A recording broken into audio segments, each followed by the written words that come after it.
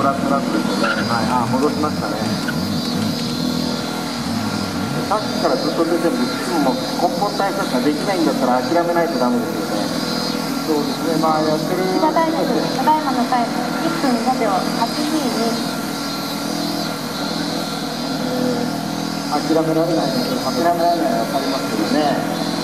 ただこれ目に見えないオイルミストは相当出てカーますナンバー38慶応義塾大学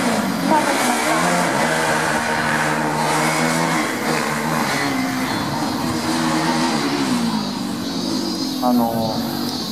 人側にいる車検チームが見に行ってますから車検チームの人たちもその辺は厳しいですからね。いやでも51分切るぐらいのチームにとってはこれ1秒以上損しますよね多分ね。そのぐらいのミスは出たと思いますはい、まあ、どっちかもそういうタイムなしにしたところですからね紹介等のタイムは結構いいんですよね、どちらは。同志社大学タイム1分6秒687どうして先ほどそうです、そうです。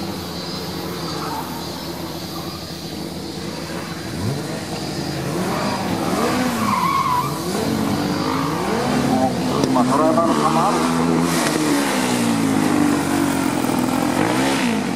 まあドライバー変わったんで、カーナンバー下に行ったかもしれないです。同志社大学スタートしました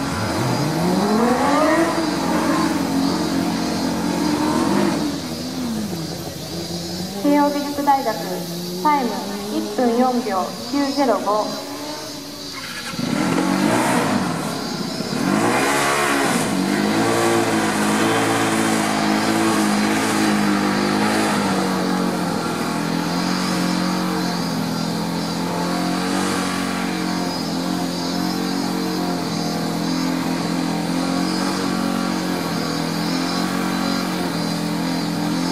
ナンバー38慶応義塾大学スタートしました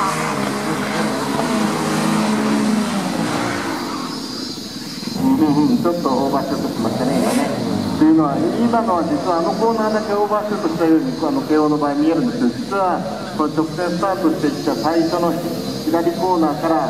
あのアプローチしていくこう車の